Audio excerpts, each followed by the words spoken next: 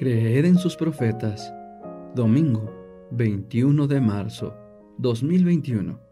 Jonás 2. Jonás ora desde el vientre del pez.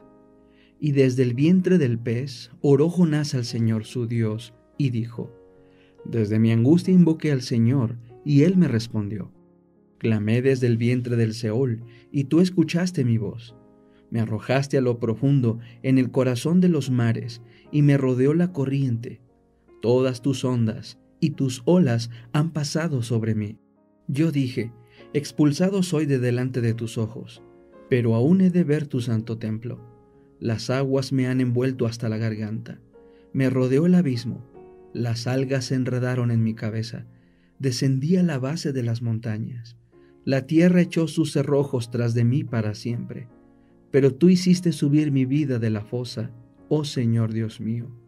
Cuando mi alma desfallecía dentro de mí, me acordé del Señor, y mi oración llegó hasta ti, a tu santo templo. Los que veneran las vanidades ilusorias abandonan su lealtad, pero yo te ofreceré sacrificio con voz de alabanza. Lo que prometí haciendo votos, lo cumpliré. La salvación pertenece al Señor entonces el Señor habló al pez, y éste vomitó a Jonás en tierra. El Ministerio de Curación, capítulo 42. Desarrollo y servicio. La vida cristiana es más de lo que muchos se la representan. No consiste toda ella en dulzura, paciencia, mansedumbre y benevolencia. Estas virtudes son esenciales, pero también se necesita valor, fuerza, energía y perseverancia. La senda que Cristo señala es estrecha y requiere abnegación. Para internarse en ella e ir al encuentro de dificultades y desalientos, se requieren hombres y no seres débiles. La fuerza de carácter. Se necesitan hombres firmes que no esperen a que el camino se les allane y quede despejado de todo obstáculo. Hombres que inspiren nuevo celo a los débiles esfuerzos de los desalentados obreros, hombres cuyos corazones irradien el calor del amor cristiano y cuyas manos tengan fuerza para desempeñar la obra del Maestro.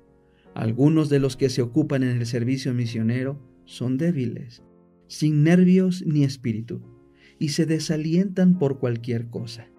Carecen de impulso y de los rasgos positivos de carácter que dan fuerza para hacer algo les falta el espíritu y la energía que encienden el entusiasmo. Los que anhelan éxito deben ser animosos y optimistas.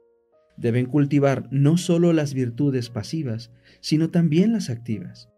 Han de dar la blanda respuesta que aplaca la ira, pero también han de tener valor heroico para resistir al mal. Con la caridad que todo lo soporta, necesitan la fuerza de carácter que hará de su influencia un poder positivo.